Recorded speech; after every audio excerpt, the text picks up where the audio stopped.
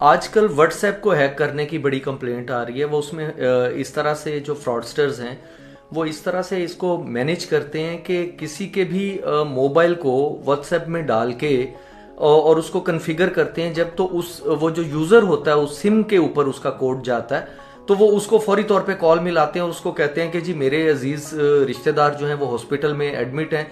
मैं कि, उनको इजी पैसा करवा रहा था तो आपके मोबाइल पे इजी पैसा का कोड आ गया। प्लीज़ मुझे जल्दी से बता दें।